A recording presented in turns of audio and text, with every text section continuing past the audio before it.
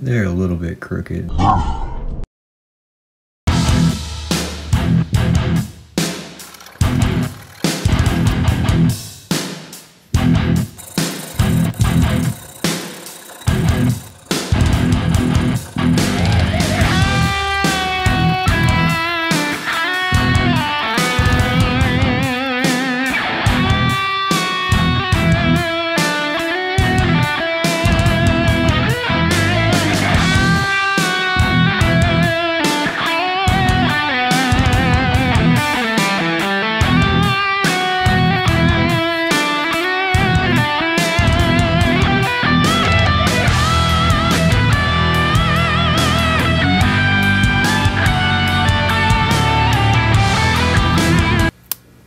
What?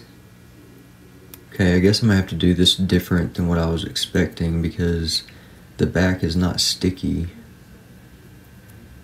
And this clear part is just protective, I guess.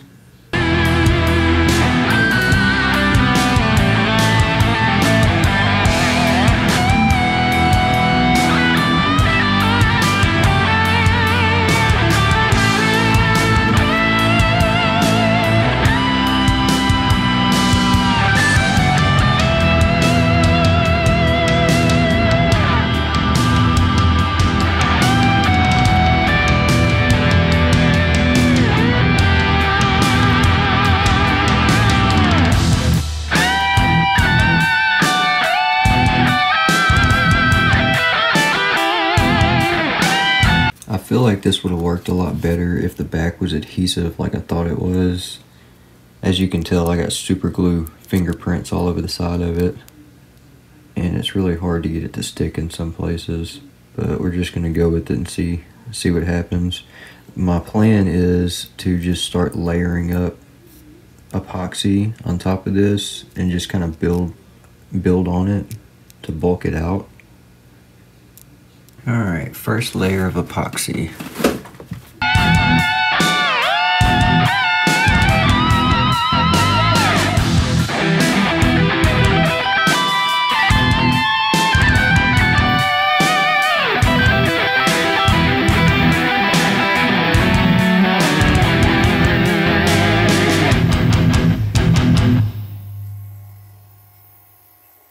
So this is where we're at so far. This is three layers of epoxy. Of course, there's a ton of bubbles. I couldn't really torch it because all the epoxy wanted to just run straight off of it if I heated it up. So we're just going to have to live with the bubbles.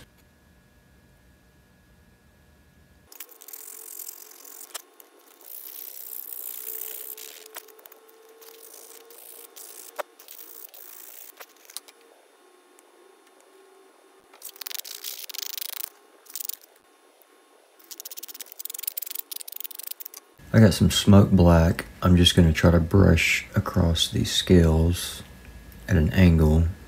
And I'm going to try to just get some on the top.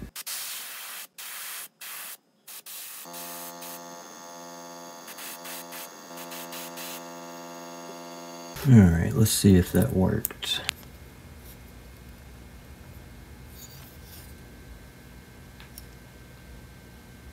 Not bad. Not bad.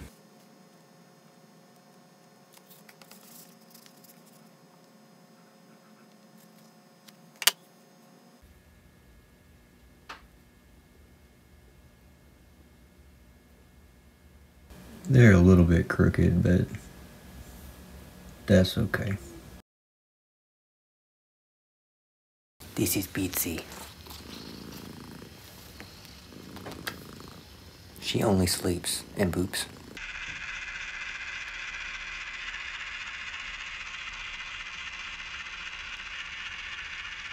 I'm probably not gonna have very much time to fish. We got some storms moving in. Oh, the sun just popped out. Lovely. It is a beautiful 67 degrees. It was 69 just a minute ago.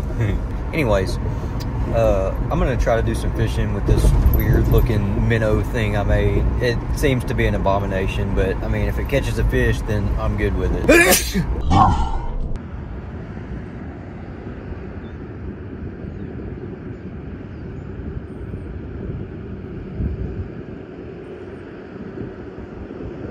kind of hard to see, but it, it's doing what I was kind of hoping.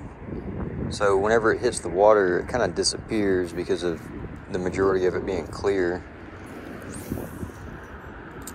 Yeah, you could accomplish the exact same thing using a clear, soft plastic, but you know, whatever. It's got some interesting twitchiness about it too, though.